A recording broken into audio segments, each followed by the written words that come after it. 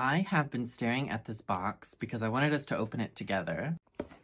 Ah! This is Greedy Peasant. Hello, my name is Felony, and I am also a costume designer. I do drag and make costumes in Los Angeles, and I made this very tassel-adjacent hat from an Erté-inspired costume some years back.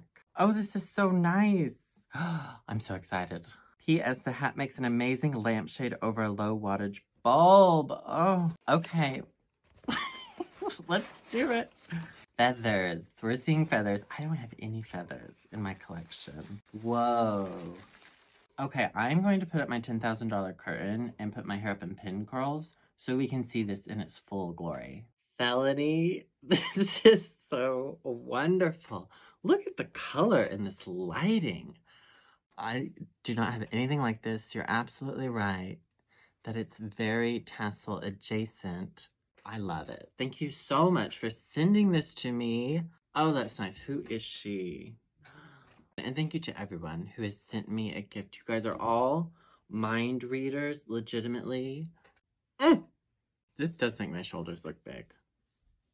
Ooh. oh, that's nice.